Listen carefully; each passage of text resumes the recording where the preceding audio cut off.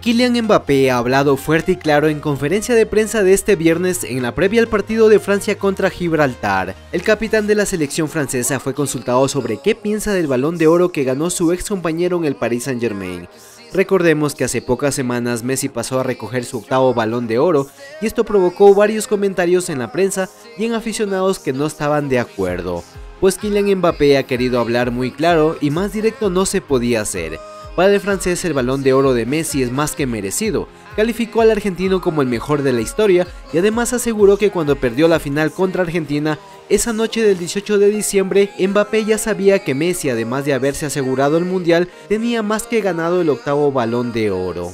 No, no, no, como ya he dicho, no soy alguien que tenga miedo, así que no tengo ningún problema. Mm, la clasificación es la que es, Messi se lo merece.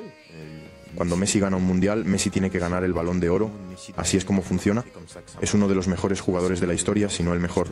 Así que cuando gana el mundial en la decimoctava noche, yo sabía que había ganado el mundial. Había ganado el mundial y el balón de oro, y todo el mundo lo sabía.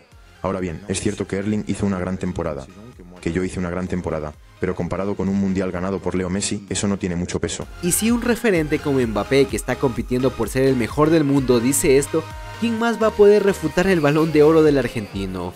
Mbappé ha querido cerrar el debate y lo ha hecho con tremendas declaraciones a favor de Leo Messi.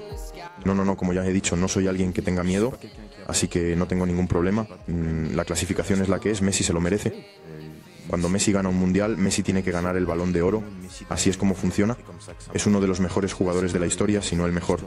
Así que cuando gana el mundial en la decimoctava noche, yo sabía que había ganado el mundial. Había ganado el mundial y el balón de oro, y todo el mundo lo sabía. Ahora bien, es cierto que Erling hizo una gran temporada, que yo hice una gran temporada, pero comparado con un mundial ganado por Leo Messi, eso no tiene mucho peso.